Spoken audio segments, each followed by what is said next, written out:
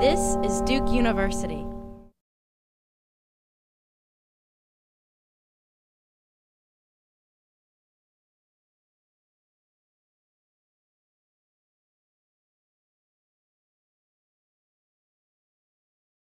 Bitcoin's in the news a lot, and it's quite mysterious.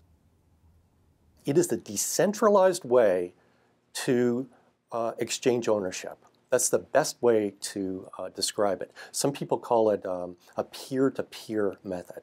So there's no middle person. So usually we think when we transact with a credit card, um, there is a middle person, the bank, because the bank has got to issue the credit card and grant you the, the credit. And indeed, there's another middle person, and that's the central government, because they provide the actual dollars. So this is decentralized. It's a way to securely transact uh, between two parties. Let's actually go through a transaction. What happens? I decide to buy lunch for some of my graduating students, and I'm going to need a Bitcoin to do that. So I go into a third-party application and say, I want to buy Bitcoin. And what they do is they collect some information and I transfer from my bank account enough money to buy Bitcoin. And that goes into the digital wallet and it's got a key in it.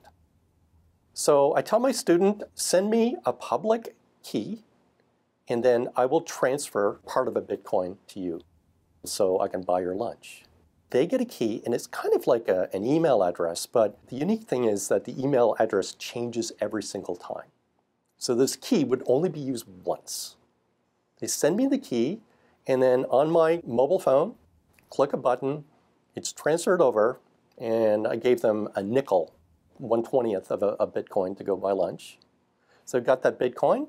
They go to the restaurant, and maybe they're charged four Bitcoin cents for it. They present their mobile phone, it's scanned, and it's withdrawn from their account.